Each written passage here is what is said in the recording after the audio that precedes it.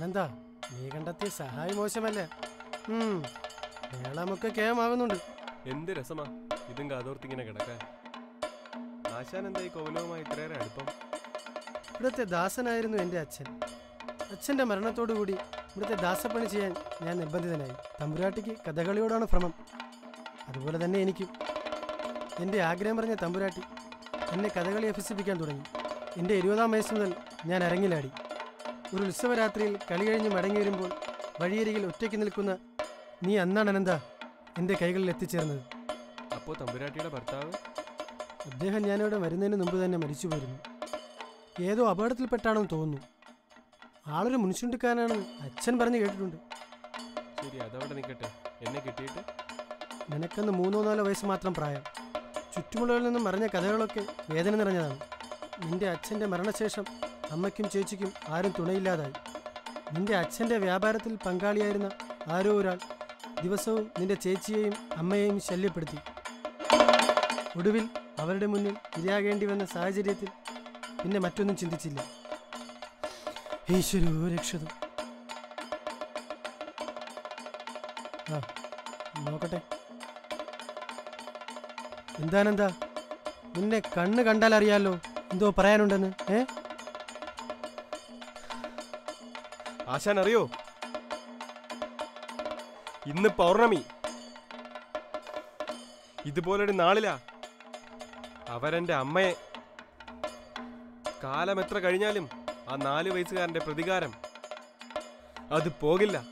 പുതിയ ഇരയെ കിട്ടിയ മട്ടുണ്ടല്ലോ.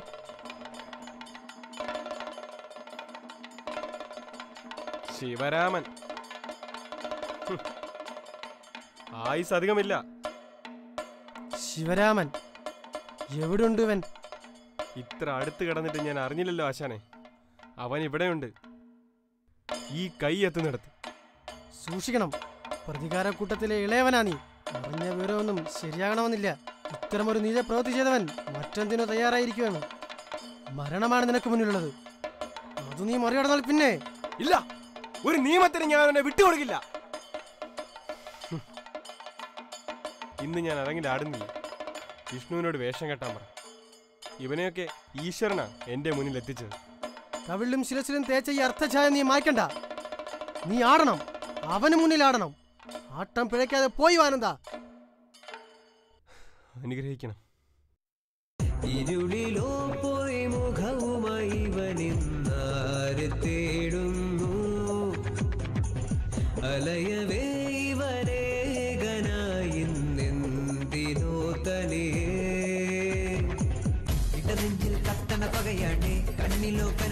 എരിയുന്നേ മുന്നിലായി കാമം കുതരുമ്പോൾ എന്തിനോ നിയമം മറയാണേ ഇടനെഞ്ചിൽ കത്തണ പകയാണേ കണ്ണിലോ കനലുകൾ എരിയുന്നേ മുന്നിലായി കാമം കുതരുമ്പോൾ എന്തിനോ നിയമം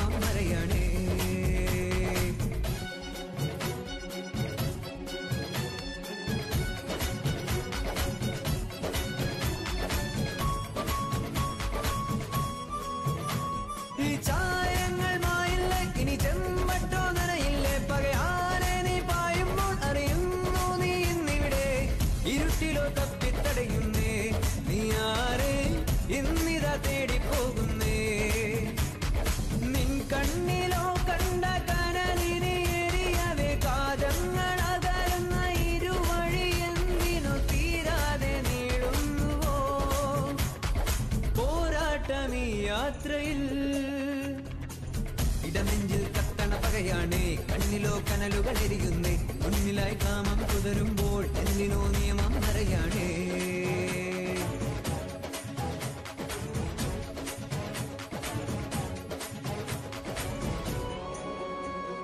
കഥയാലാടും മാട്ടങ്ങൾ കഥ പോലാടും മാട്ടങ്ങൾ നീതിക്കനി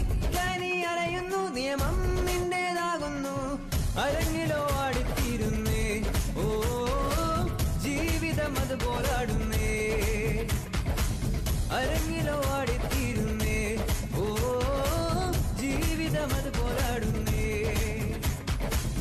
ഇരുളിലോ അവസാന മുഖവുമായി മരണത്തിലേക്കാണ് നീ പോകുന്നത്. അലയവേ ഇവനേകനായി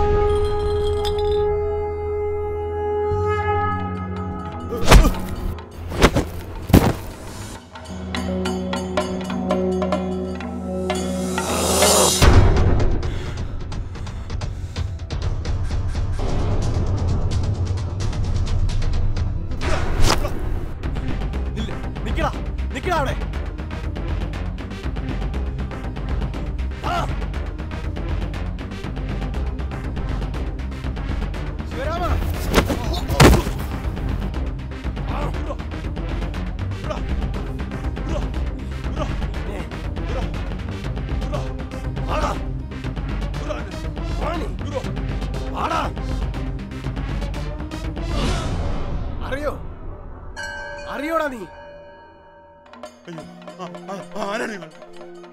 ഈ മുഖം നീ അറിയാൻ വഴിയില്ല. നിങ്ങൾക്ക് വേണ്ടേ? ഇതുപോലുള്ള ഒരുപാട് മുഖങ്ങളുണ്ട് എനിക്ക് പിന്നിൽ.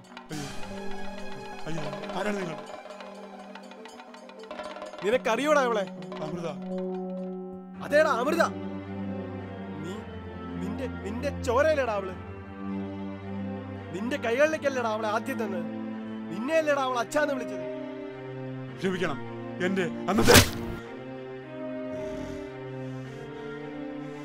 നിന്റെയൊക്കെ കാമ തീർക്കാൻ വേണ്ടി ഞാനോടാ. ഇങ്ങനെ ഓരോന്നിനെ. പറടാ. അതാടാ ഇനിയുണ്ട് ഒരുപാട്. നിനക്കൊരു പുല്ലും ചെയ്യാനാകില്ല. ലഹരിയാണ് എനിക്കല്ല. ലഹരി.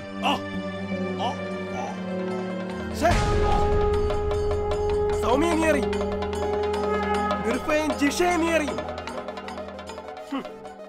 പിറന്ന മണ്ണിൽ നീതി ലഭിക്കാതെ പോയ സഹോദരിമാർ. പത്രമാധ്യമങ്ങളിലൂടെ ഒരുപാട് കേട്ടു. കൊലയാളിക്ക് നിയമത്തിന്റെ സൽക്കാരം പോലും. ഇല്ല നിയമത്തിന് ഞാൻ വിട്ടുകൊടുക്കില്ല നിന്നെ. ശിവരാമ ഇവിടെ നിയമം എന്റേതാണ്? ഞങ്ങളുടേതാണ്. ചോര തിളക്കുന്ന യുവത്വം നിന്നെ കാത്തിരിപ്പുണ്ട്. നിന്നെ അവർക്ക് മുന്നിൽ ഇട്ടുകൊടുത്താൽ കാർന്ന് തിന്നു അവർ പക്ഷെ അവിടെയും നിയമം ഒരു വെല്ലുവിളിയാണ്.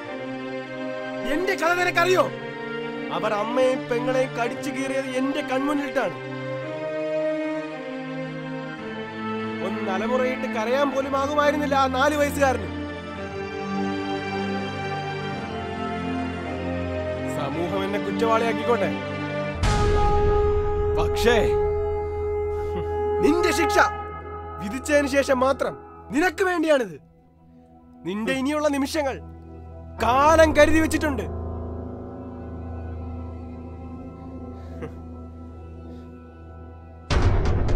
ആ വേദന നീയും അറിയണം ശിവരാമ.